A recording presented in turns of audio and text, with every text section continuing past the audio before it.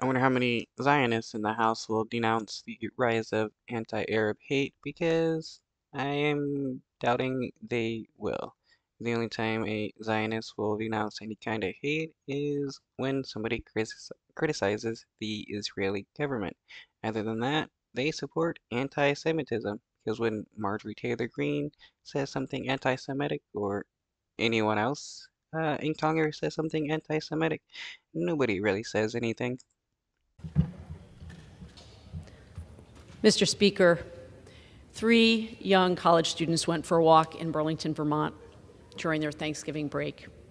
Hisham, Kinnan, and Tahseen spoke Arabic to one another and wore keffiyehs, and they were shot. Whether or not this meets the legal standard for a hate crime, we know this was a hateful act. The recent rise in Islamophobia in this country has led to deadly violence. It's deeply disturbing and frightening. I want to be clear leaders in this very chamber need to unequivocally denounce the rise of anti Arab hate and Islamophobia. Words matter. We need to lead with our values, community, and acceptance rather than hatred and fear.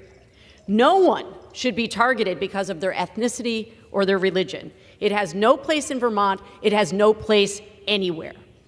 We all have a part to play. We need to speak up and stand with our Muslim neighbors and friends now.